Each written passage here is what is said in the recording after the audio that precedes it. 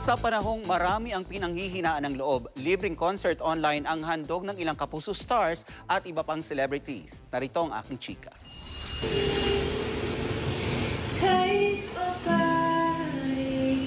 Pag-asa at saya sa pamamagitan ng musika.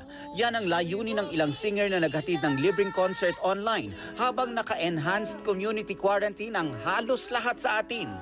Naging makabuluhan ang pag-awit ni na Ebe Dancel, Tulog na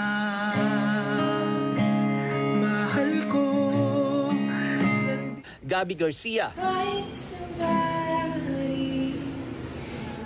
Julian San Jose,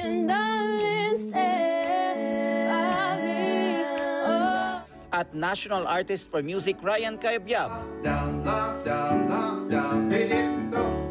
Paraan daw nila ito para makapagbigay pag-asa sa panahong pinanghihinaan ng loob ang marami sa ating mga kababayan.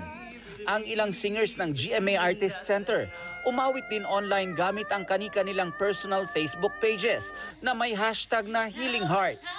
Ilan lang sa mga nagbahagi ng kanilang talento ay sina Golden Caniedo, Anthony Rosaldo at Jennifer Meravilla.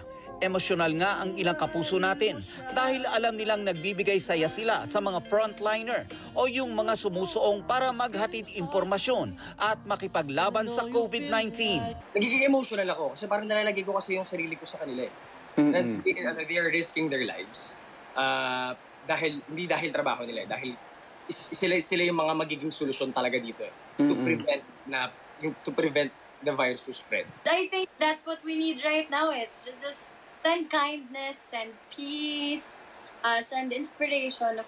Si The Clash Season 2 Grand Champion Jeremiah Tiangco, mag-isa lang daw sa kanyang tinutuluyan sa Quezon City.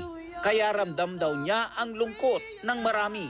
may takot po, ah, may lungkot, pero nandun po kasi yung, ah, lagi ko pong binabaon, Sir Nelson, ah, prayer is the best answer po. fighter,